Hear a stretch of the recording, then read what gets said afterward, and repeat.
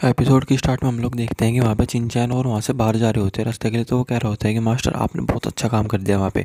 तभी हम देखते हैं कि वहाँ पे वो सभी लोग खड़े होते हैं और वो कह रहे होते हैं कि, ये लोग यहाँ से वापस ज़िंदा कैसे बाहर आ गए कैसे हो सकता है? तभी वो आदमी आगे आता है और कहता है कि, अब तो तुम लोग वहाँ से ज़िंदा वापस आ गए हो, लेकिन अब यहाँ से ज़िंदा नहीं जा पाओगे कहीं भी। और गुस्से में आके अपनी एनर्जी का जो ब्लास्ट होता है, उसे चारों तरफ़ करते हैं और वहाँ पे एक पावरफुल ओरा क्रिएट करने लगता है। उस पर अटैक करने के लिए अपना एक हैंड प्रिंट क्रिएट करता है।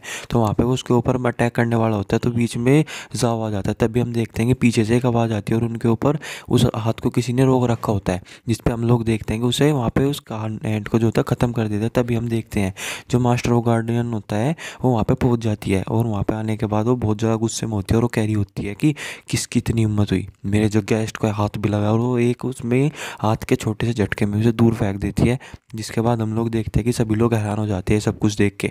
जिसके बाद हम देखते हैं कि वहाँ पे उसे जकड़ लेते हैं अपने हाथ से जिस पर कहते हैं, मास्टर, मुझे माफ़ कर दीजिए, मैंने गलती की, मैं आगे से कभी भी गलती नहीं करूँगा।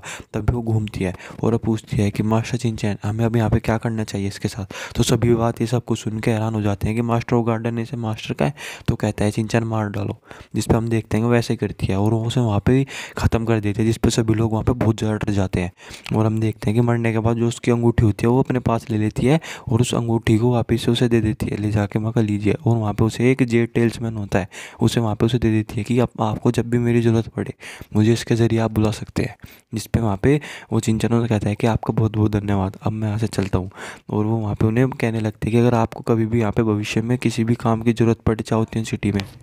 और आप जब भी चाहे, यहाँ पे मेरे गार्डन में आ सकते हैं और गुस्से में अपना और रिलीज़ करते हैं सभी लोगों को दिखाने के लिए। तो किसी की भी कुछ हिम्मत नहीं होती है वो कुछ भी कह पाई तभी हम लोग देखते हैं कि वहाँ पे जो सीन होता है, वो शिफ्ट होता है और हमें एक जगह दिखाई जाती है। वहाँ पे हम देखते हैं कि वो जो चिंचन होता है, वो एक अलग कमरे में बैठा हुआ होता है। और वहाँ पर हमें तभी हम लोग वहाँ पर देखते हैं कि वहाँ पर अपनी जो होती है कल्टिवेशन कर रहा होता है। उसके बाद हम लोग देखते हैं कि वहाँ पर वो वही जो होता है अवेकनिंग ब्लड जो लोटस होता है, उसे वहाँ पर ले रखा होता है।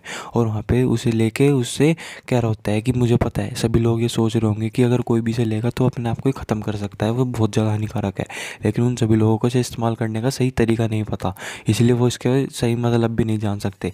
तभी हम लोग देखते हैं वहाँ पर जो अपनी लोटस फायर होते हैं, उसे इस्तेमाल करने लगता है। उसके बाद हम देखते हैं कि वो उस ब्लू लोटस फायर की मदद से वहाँ पर उस पूरे के पूरे जो अवेकनिंग लोटस होता है, उसे वहाँ पर चेंज कर देता है। वहाँ पर उसे एक अवेकनिंग लिक्विड पिल में, जिसके बाद हम देखते हैं वो पूरी तरीके से एक लिक्विड पिल में चेंज हो जाता है। जिसके बाद हम लोग देखते हैं कि वहाँ पे जो चिंचैन होता है, अपनी जो वहाँ पे माइंड पावर को इस्तेमाल करता है और उसके बाद उसे अपनी जो वहाँ पे सिक्स सेंस के अंदर होता है, उसे वहाँ पे एब्जॉर्ब कर लेता है, जिसके बाद हम देखते हैं कि वो मल्टी कलर सभी वहाँ पे उसकी सिक्स सेंस के अंदर जाके कंडेंस हो जाता है और वहाँ पे हम देखते हैं कि आखिर में वहाँ पे जो उसका सारा का सारा सी ऑफ़ कॉन्शियसनेस होता है, वो धीरे धीरे करके एक वाटर फॉर्म में क्रिएट होने लगता है, जिसपे वहाँ पे वो अपनी पूरी कंसनट्रेशन लगा देता है उसके ऊपर, जिसपे हम देखते हैं कि उसके अंदर बहुत ज़्यादा हो रहा चेंज होने लगता है और हम तभी देखते हैं कि वहाँ पर जब वो ये सब कुछ कर रहा होता है हम देखते हैं कि तभी उसके जो शरीर में जो ब्लॉकेज होती है, वो चेंज हो जाती है और जो उसकी मेंटल साइंस होती है, वो वहाँ पे seven realm of martial king के रियल में प्रमोट होने लग जाती है। जिसके बाद हम देखते हैं, वो पूरी कोशिश करता है कि उसकी वहाँ पे वो होने लग जाए और वहाँ पे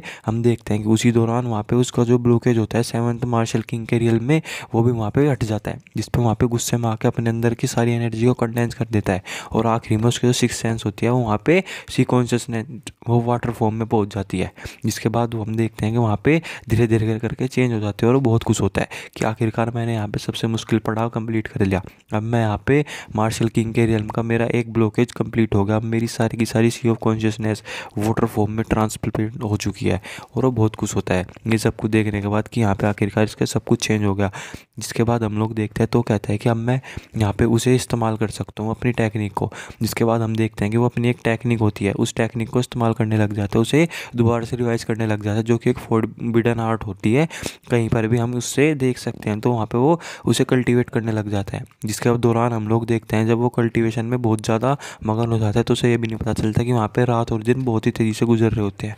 और वो उसी तरी, उसी तरीके से वहाँ पर अपनी कल्टीवेशन कर रहा होता है आराम से। तभी हम लोग देखते हैं, जब वो कर रहा होता है वहाँ पर तभी जो उसकी वहाँ पर फोर हेड आई होती है, वो चमकने लग जाती है। जिसके बाद हम देखते हैं कि वो कहता है आखिरकार मैंने यहाँ पे इल्यूजन आई क्रिएट करी ली। जिसके बाद वो वहाँ पे अपने आसपास का एरिया चेक करने लगता है तो एक तरीके का ब्लू क्रिएट हो जाता है। और वहाँ पर उस एरिया से वो कहीं भी किसी भी और देख सकता होता है और वहाँ पर सामने देखता है। तो वहाँ पर एक लड़की बैठी हुई कल्टिवेट कर रही होती है। जिसके बाद तभी हम देखते हैं कि वहाँ पर थोड़ा सा हिचकता है और वहाँ पर तभी वो ख़त्म कर देता है और यहीं पर एपिसोड ख़त्म हो जाता है। थैंक यू दोस्तों।